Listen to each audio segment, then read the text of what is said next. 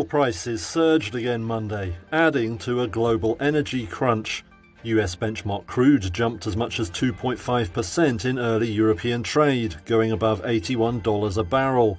That is on top of almost 5% gains last week. Prices have risen as economies emerge from lockdown and demand rises. US crude is now up for seven straight weeks. The same factors have driven coal and gas prices higher, making oil more attractive for power generation, adding another push to prices. It all adds up to a mounting energy crisis.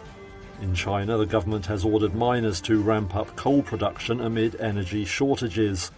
In India, some states are experiencing blackouts because of a lack of coal. And countries across the Northern Hemisphere are wondering if they'll have enough energy as winter looms and heating demand rises. Oil production is now rising in response. US drillers last week added five new wells, marking the fifth straight weekly increase in operating oil and gas rigs. The OPEC group of producer nations is also maintaining a steady increase in output.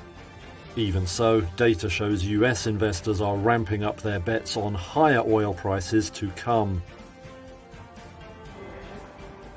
Residents of Sydney, Australia filed into their favourite bars on Monday as much of the city prepared to reopen after nearly four months of lockdown. Okay, cheers, boys. Sydney's reopening comes as Australia seeks to shift its strategy by gradually lifting restrictions across the country upon reaching vaccination targets. Prime Minister Scott Morrison celebrated the news at a press conference on Monday. Today is a day so many have been looking forward to. A day when the things we take for granted we'll celebrate. Being with family and friends, getting a haircut, uh, grabbing a meal together, going to the pub and having a beer with your mates. These are things that uh, across New South Wales and particularly in Sydney, people will be able to do again today.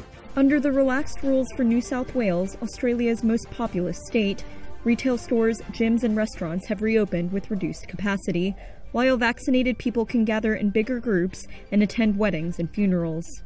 The state aims to hit an 80% vaccination rate later this month, which will be the trigger to relax distancing limits.